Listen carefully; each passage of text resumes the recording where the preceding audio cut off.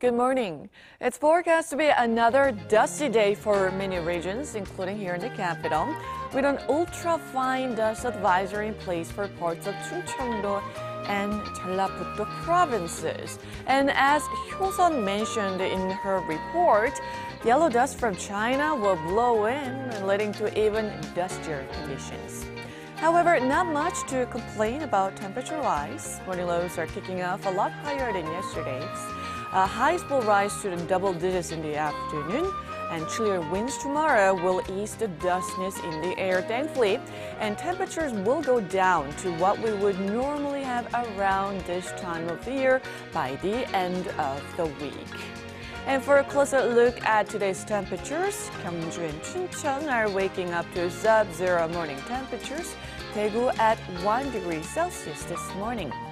It's going to be cloudy with highs ranging slightly higher than yesterday in many parts. Busan and Jeju will have a high of 18 degrees Celsius. Chuncheon will only get up to 8 degrees this afternoon. That's Korea for you, and here's international weather for viewers around the world.